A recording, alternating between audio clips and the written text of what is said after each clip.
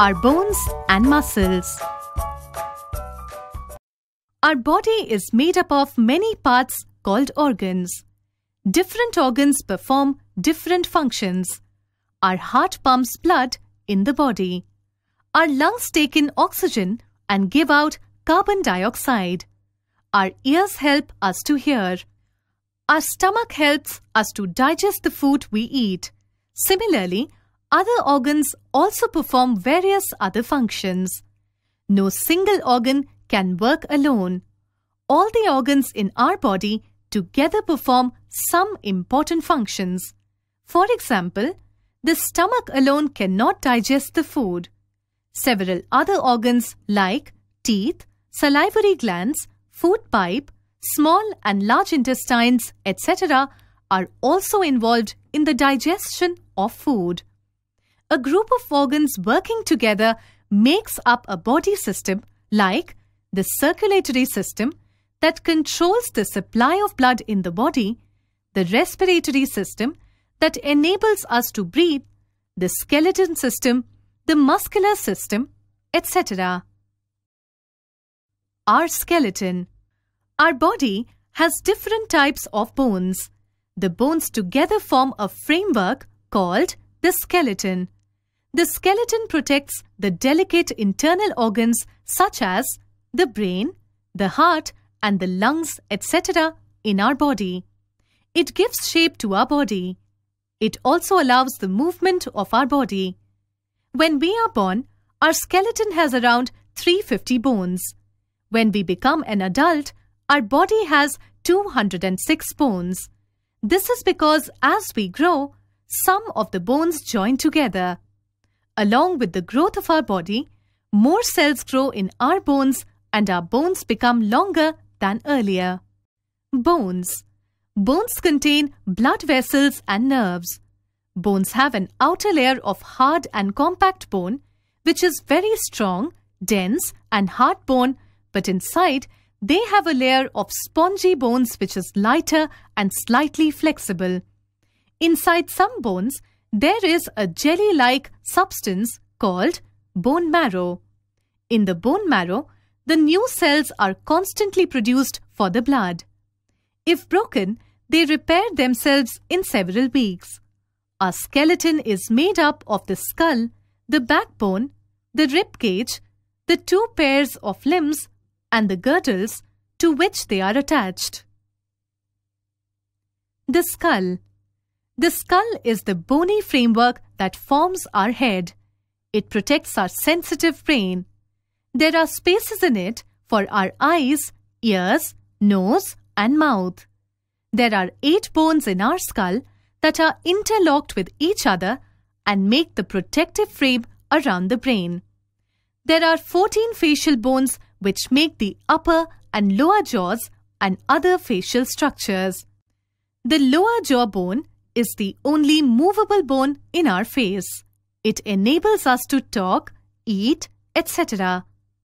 The spine or backbone.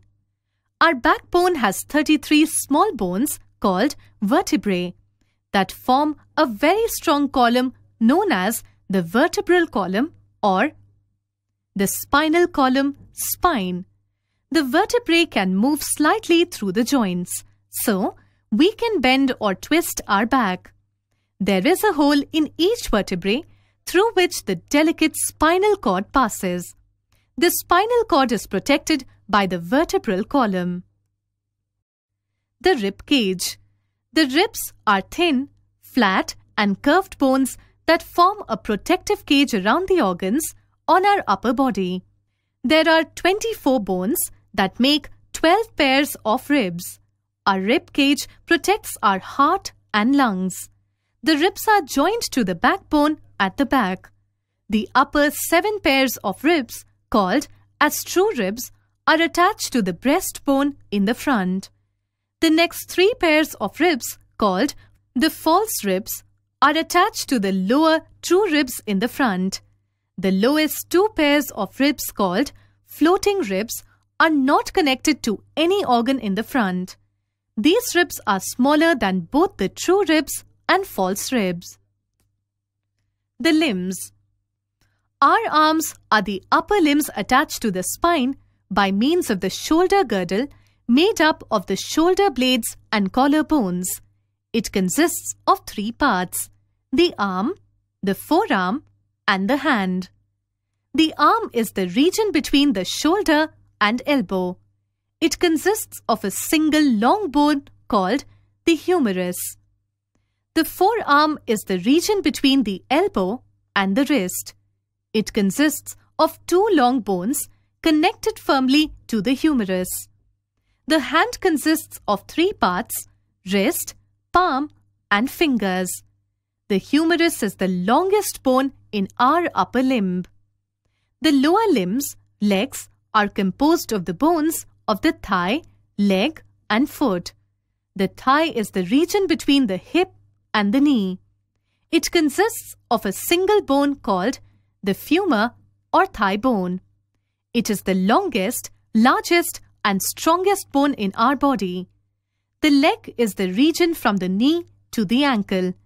It consists of two long bones known as shin bone and calf bone. Shin bone is longer than the calf bone. These bones connect to the femur to form the knee joint. The foot contains many small bones. The bones of the lower limbs are the heaviest, largest, and strongest bones in our body because they bear the entire weight of the body when a person is standing in an upright position. Joints. Many of our bones are joined together. The place where two bones meet is called a joint. Our skeleton is very hard, but it can bend or move because of these joints. Strong, stretchy bands of tissue called ligaments hold these bones together.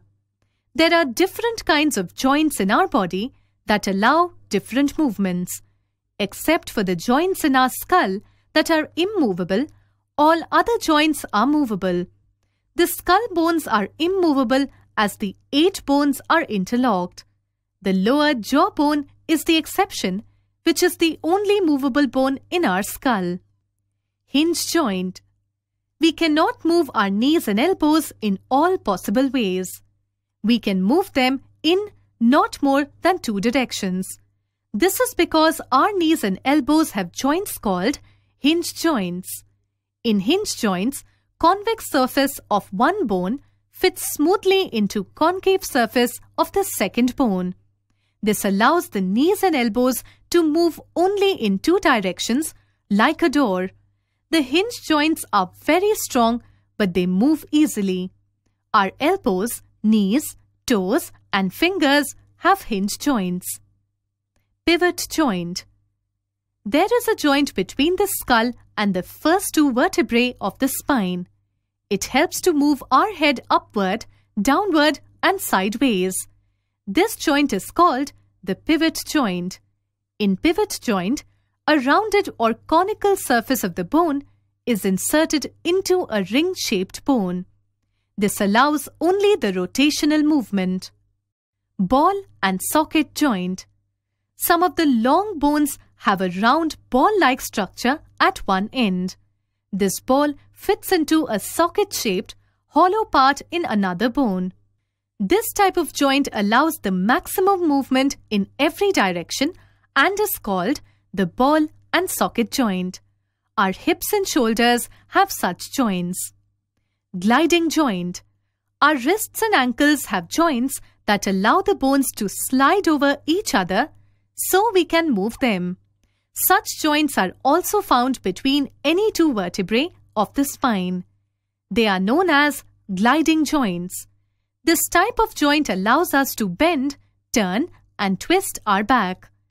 If there were no gliding joints in the back, our body will behave like wooden puppets. Muscular system. Almost half of the weight of our body is of muscles. Muscles are the part of our body that allow us to move. They are made up of special tissues that can contract or shorten when they receive a signal from the brain. The muscles are attached to the bones by stretchy tissues called tendons. When the muscles contract, they pull on the tendons, which pull on the bones and cause our limbs to move. There are more than 640 muscles in our body and they work together with the bones to move the body. Different kinds of muscles. There are some muscles which are under our control. We can lift our arm, write with our hand, close or open our eyes anytime. The muscles which produce such types of movements are in our control. They are called voluntary muscles. These muscles are controlled by our brain, which sends and receives signals through our nervous system. Some muscles, such as stomach muscles, work on their own. We have no control over them. They are involuntary muscles.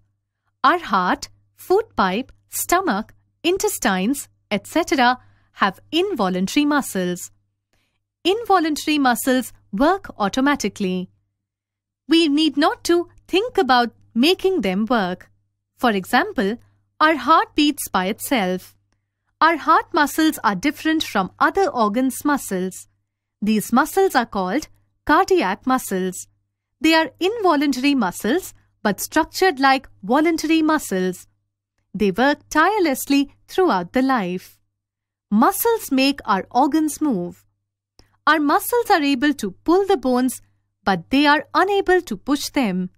A bone moves only when at least two muscles are involved in it.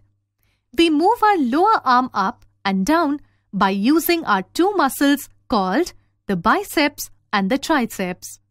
When we lift our arm, the biceps in the front contract and pull up the arm. But when we lower the arm, the triceps at the back pull the arm down by contracting its muscles. Bones and muscles are responsible for the movement in our body. We must keep our bones and muscles strong for a healthy life. Exercise and good posture help us to keep the bones strong and perfectly shaped.